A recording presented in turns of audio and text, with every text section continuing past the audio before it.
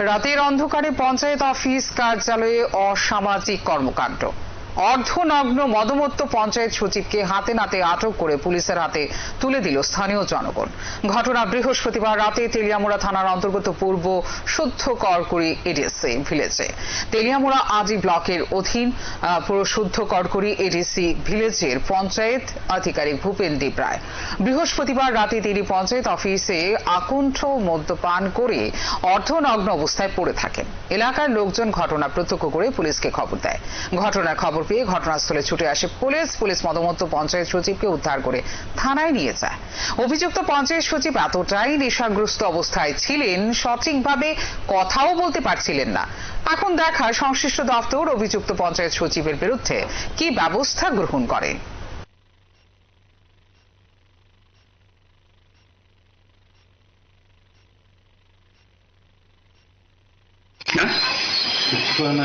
এখন কি office time অনুষ্ঠান না আমি থাকব না। হ্যাঁ?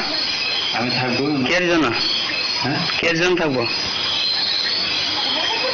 হ্যাঁ? কের জন্য থাকব? কৌ চাইছে কে রে?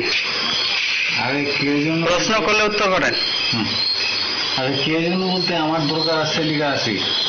হ্যাঁ?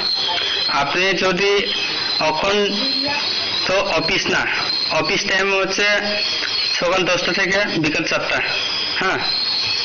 তো এখন যদি অফিস খোলায়? দশটা পাঁচটা। দশটা পাঁচটা এখন কয়টা বাজে?